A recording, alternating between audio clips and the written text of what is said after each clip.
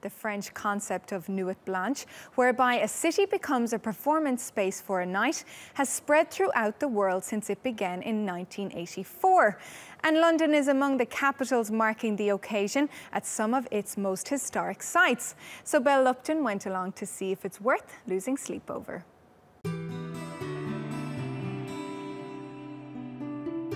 In East London, art is in the air. It's like a happening, you know, it's, it's, it's just like a blowing. Uh, it's just one night and it's excited, it's nice, it's like a performance. Turkish artist Güneş Terkol was commissioned to create a new piece. She worked with residents of a nearby housing estate to create this banner. And this installation's name is Home is My Heart. This work is special for Art Night, it's very fresh and uh, I did workshop with the local people, 90 years old to 19 years old. Uh, for example, this is David, David's sketch. It is so amazing. It's, it, it, this story comes from 1938.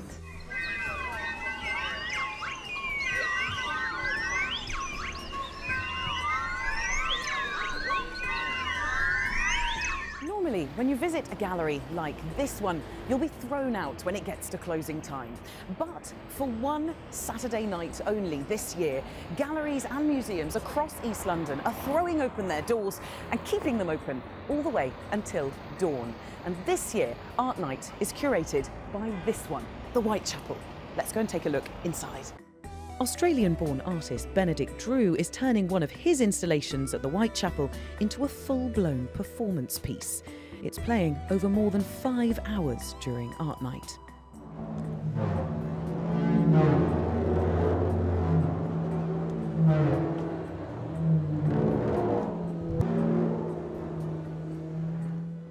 The person behind the creative vision for this year's Art Night is Turkish curator Fatoş Üstek is a theme that is underlying the whole festival. It's called Fusion of Horizons.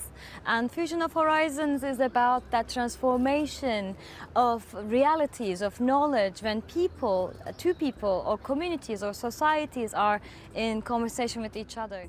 From 6 o'clock on Saturday evening all the way through to 4 a.m. the next day, 11 artists have put on 13 projects for Art Night.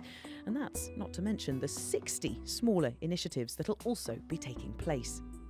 First stop on our tour of East London's Art Night is this place, the Nicholls and Clarke showroom, because there's a very special installation on the other side of this wall.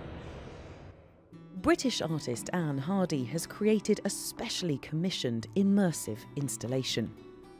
I think very much about the, the artwork itself as this uh, as like a living entity that you enter. So in a sense that is about a transitory and momentary experience that's perhaps a bit like a dream or even a hallucination. So I think in the context of art night, that's really interesting because it happens at night. So that's that's a similar kind of space. And to come and see art at two in the morning is very different than at two in the afternoon.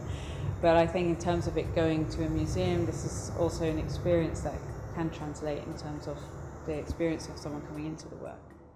Warehouses, docks, even underground vaults, all are being turned into gallery spaces.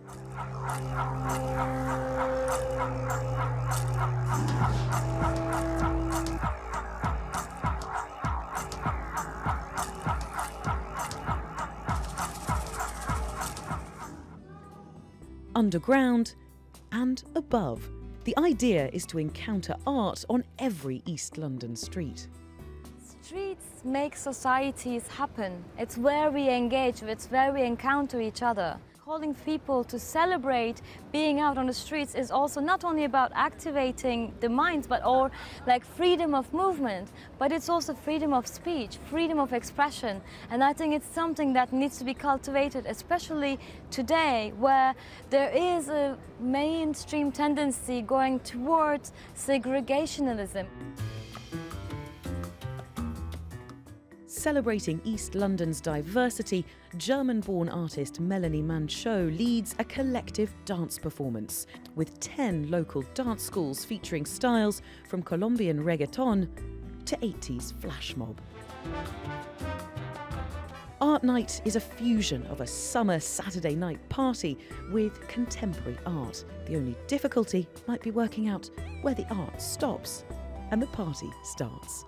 Belle Lupton, TRT World, London.